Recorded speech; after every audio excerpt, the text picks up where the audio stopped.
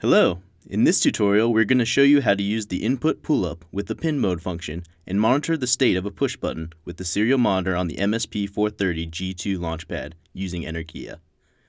For this example, we can use the Launchpad by itself by utilizing the onboard push button, or we can use an external circuit with a push button and pull-up resistor connected to the Launchpad. We will show you how to set up the onboard button. To begin, simply plug your Launchpad to your computer over USB. Push buttons or switches connect two points in a circuit. When the push button is unpressed, there is no connection between the two legs of the push button. Since we're going to use a pull-up resistor, this creates a default connection to VCC, which causes our microcontroller pin to read as high or 1. When the button is pressed, however, it makes a connection between its two legs, connecting the pin to ground, so that pin reads as low or 0. Now let's go over the code for use with the onboard push button on our Launchpad.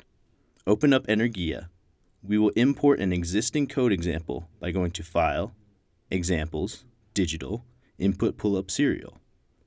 In the program, pin 14, which has green LED on the launchpad connected to it, is set up as an output in the setup function.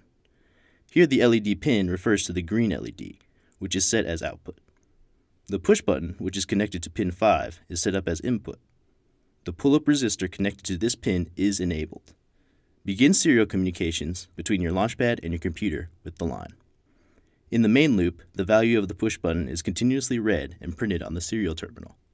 Keep in mind the pull-up means the push button's logic is inverted. If the value of pin 5 to which the push button is attached is high, then a low is written to pin 14, to which a green LED is attached.